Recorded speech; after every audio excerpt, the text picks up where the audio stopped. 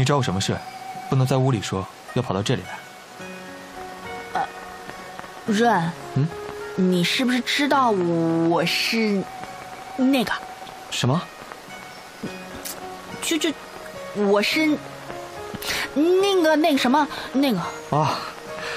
放心，你我是君子之交，有些事情即便是知道了，也不会说出去。更何况，这是欺君弥天大罪，我一定会替你保密的。这，你是如何知道的？